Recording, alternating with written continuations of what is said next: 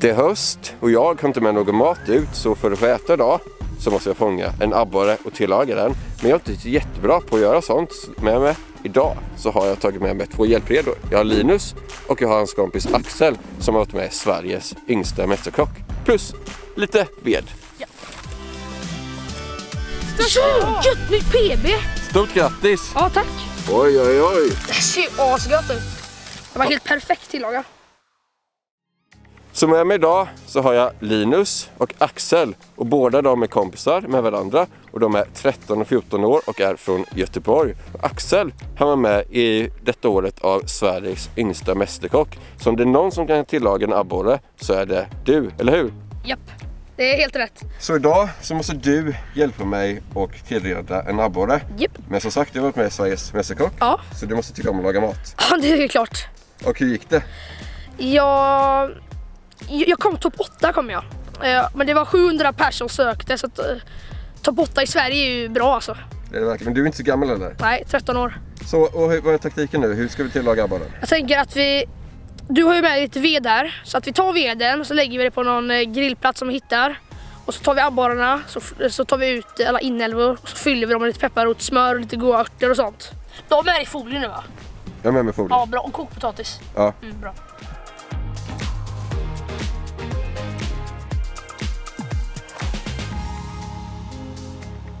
Nu är vi framme på första stället och detta det är en djupkant från typ 6-10 meter och det står ganska mycket betesfisk här, eller abborrar.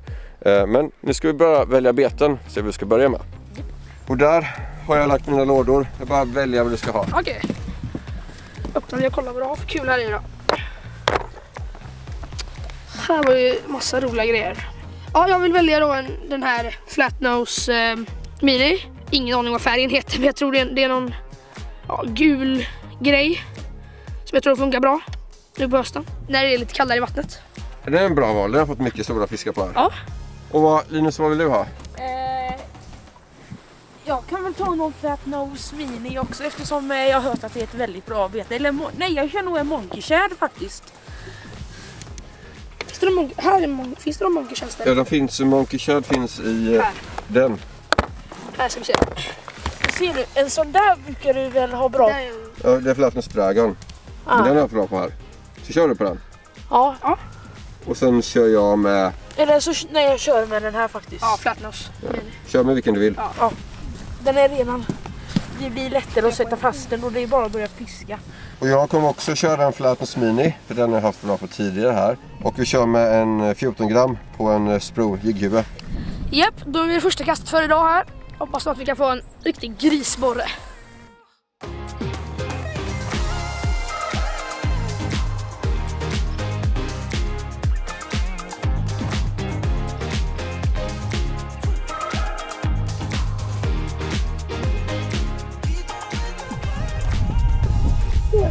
Du har den? Oh, vad bra! Är, är den fin? Hoppas att det är en gris. Oh, ta upp den! Hur? Snyggt! Ja, jag stod och väckte Det var massa fisk på botten. Så att, så att jag stod och satte dit i botten och ryckte lite så kom den. Snyggt! Fina, fina matborren så att den käkar vi eller? Det tycker jag. Det gör vi. Titta här på ekolodet, där ser ni massor med småfisk på botten. Och det var där han vevade upp den, det håller på att försvinna nu. Nu ser det fullt med sådana abborrar på botten här. Så släpp den ner och vertikala också. Se om du kan få den Den också. måste ha vägt 250 gram. Den tog på den här Flatnose Mini, den här gula färgen som jag valde förut. På en 14 grams skalle. Och hur länge har vi fiskat? Ja, fem minuter. Är det kul? Det är skitkul ju.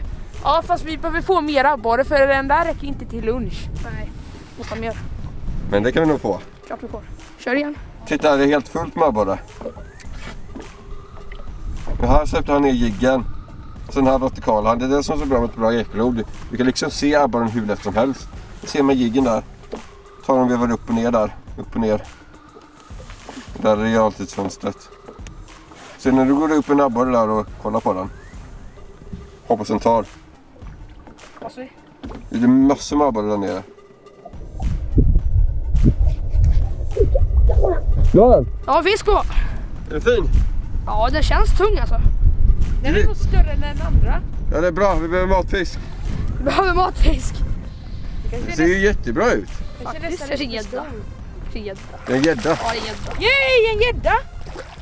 Nej vänta, den där är faktiskt en bra matgädda faktiskt.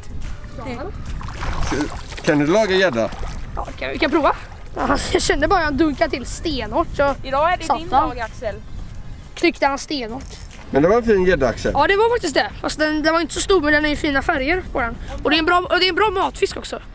Så det här blir perfekt. Grymt! Grym färg. Jag fick en eh, abborre. Jag har också en abborre på här. Ja. Den är, ser inte ut att må så bra den här borren. Din är fin eller? Jag tror jag släppte. Nej. Nej, och den är bra matabborre. Nej, matabborre! Hej då borren! Den. Bra, snyggt Axel! Ja, ja. Jag blankar inte idag. Det är en hyfsad abborre.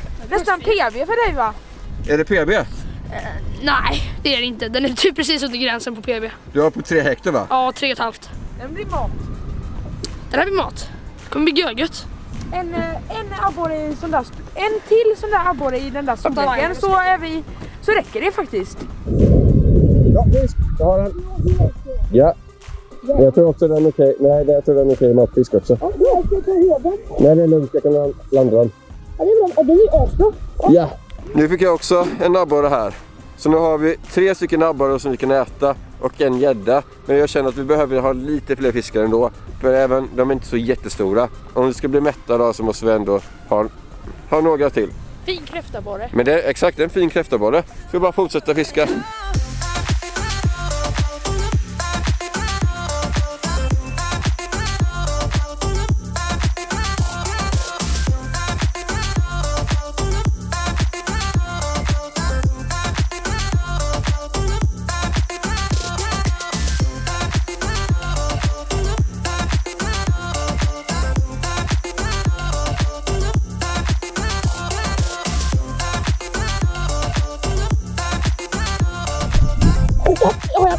Där!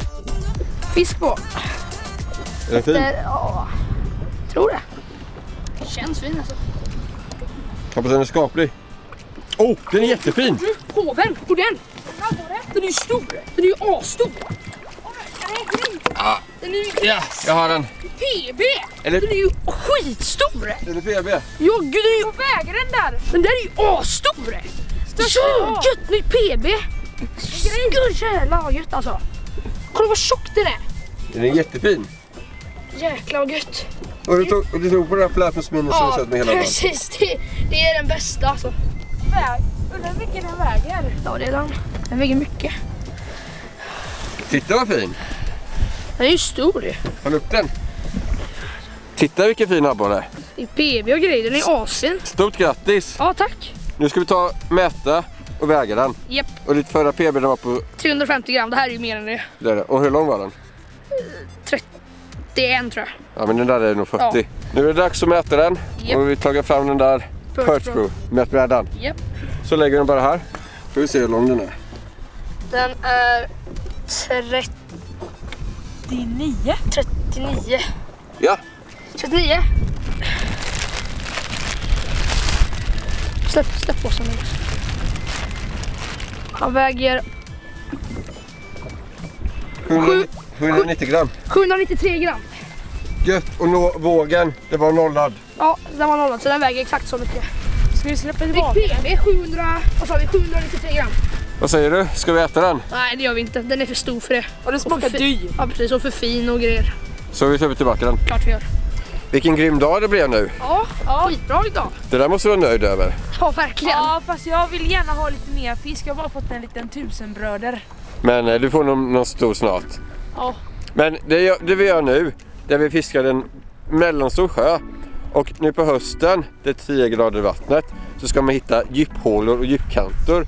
Och denna sjön, där vi är just nu, det är djupaste stället på hela sjön. Den är typ en medeldjup på typ 5-6 meter, men just här så går den ner mot 11, 10-11 meter. Och det är här som vi har hittat fisken. Bara kasta ut mot djupkanten, kasta upp mot typ 7 meter och sen så bara låter vi den studsa sakta på botten och sen så ut till 10 meter där vi står med båten och sen så tar vi upp.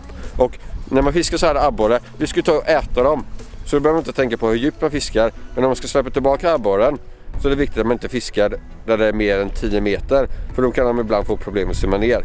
Eh, nyckeln för idag har varit att eh, fiska väldigt långsamt. Vi har gjort små tappar med spöet och liksom nästan dra jiggen längs botten. För att eh, de verkar vara väldigt slöa idag. Och alla fiskar vi har fått har haft iglar på sig så att de står mycket still. Så det gäller att fiska långsamt och, men ändå liksom rycka små tappar för att då kommer de. Och jag vet att ni två, ni kommer från Göteborg. Japp, Men ni fiskar mycket artfiske har jag hört. ja precis. Vad innebär det? Det är att man eh, samlar på arter, alltså typ som en fågelskådare alltså, kan man säga. Alltså man fångar en fisk, spelar ingen roll hur stor den är eller någonting. Så tar man kort på den och så kan man anmäla den i vissa forum och sånt. Om man är med vissa tävlingar och sånt. Och hur många arter har du fångat? Jag har 37. Det är bra alltså. Det är Jag bra. har eh, 25 och eh, vårt mål är att komma med i eh, typ en grupp som heter 50-klubben.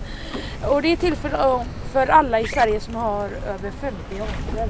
Ja det är bra. Men alltså 37 arter och jag har hållit på med artfiske i bara ett år typ. Och det är ganska bra att bara ha 37 arter. Häftigt. Ja det är bra kämpat Ja. alltså. Och jag märker ni är duktiga att fiska båda två Ja. alltså. Det är kul att följa med er. Ja.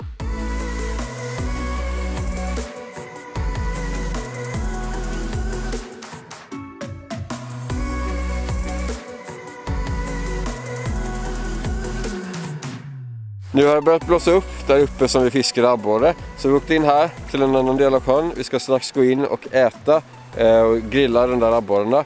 Vi fick en gädda också men vi har bestämt att nu fick vi tillräckligt med abborrar så vi släpper i gäddan också istället. Ja. Ska det bli god mat? Ja, verkligen. Abborre är görgött. Nu ska vi gå ner med fisken här till eh, vattnet. Nu känner jag mig som sån där riktig sommarfiskare som eh, efter en bra fiskedag kommer här in. Sen så radar man upp abborrarna på bryggan efter storleksordning. Men alltså, jag tycker aldrig det är några fel att eh, ta upp eh, abborrar och äta ibland. Det gäller bara att man tar rätt fisk. Man ska inte ta för små och man ska inte ta för stora. Utan man ska ta de där mellanfiskarna. Det är precis de fiskarna som vi har tagit och ska strax äta. Vad gör du nu?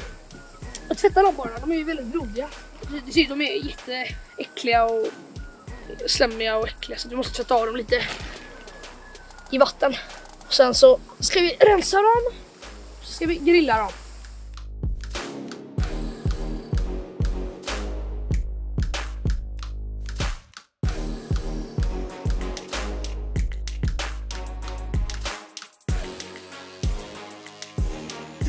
Nu har vi rensat alla abborrar. Så nu ska vi börja med själva liksom fyllningen eller vad man ska säga. Vilket är pepparrotssmör. Så vi har mjölkfritt smör och vi har pepparrot. Och vi har mjölkfritt smör eftersom jag är allergisk. Så nu ska vi blanda ihop det här. Ta, nu ligger, vi har haft massa abborre här i, det är därför den är lite smutsig. Smör med gaffel. Man kör på känsla. Men det beror på hur många abborrar du har. Men alltså kanske en, eh, en två, tre matskedar till en borre. Då tar vi lite eh, pepparrot i då. Från på tub. För att det är typ exakt lika bra som, som man river som är färsk. Så vi tar lite grann. De två viktigaste ingredienserna som finns i typ alla rätter i hela världen. Salt och peppar. Och det ska alltid vara peppar från kvarn för att den smakar alltid bäst. För att den som är mald redan, den är liksom mald för typ flera år sedan och då är den liksom bara stark. Den är liksom inte, alltså den är bara stark. Alltså den här peppar som man maler själv, den är liksom fruktig och har lite aromer och sånt. Så vi tar lite grann. Så, tar vi lite salt. Det gan- ganska lite, men eh, man får smaka av. Det här måste då vara väldigt jämnt fördelat. Och sen så tänker jag att vi ska fylla abborrarna med det här och sen går vi med dill. För att få extra gott. Och så rullar vi in det i folie. Och så lägger vi det på elden. Och sen så har vi potatis som eh, vi har kokt. Här kommer alla abborrar också. Men i alla fall, då har vi potatis som vi har kokt. Eh, och sen så ska vi ta den, lägga i folie med eh, smör Eh, och salt och peppar. Och så ska vi lägga det också på grillen. Så nu ska vi börja med potatisarna. Då tar vi folie.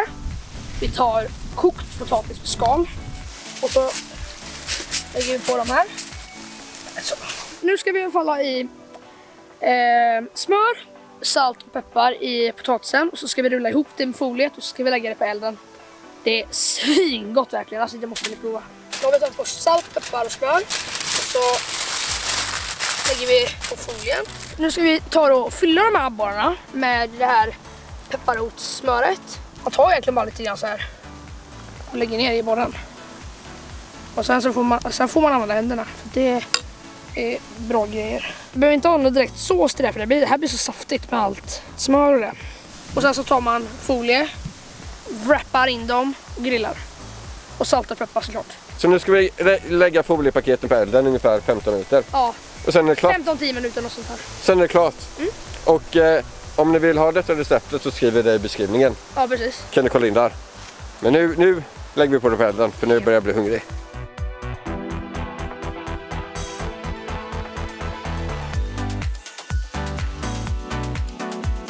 Då är det dags att smaka.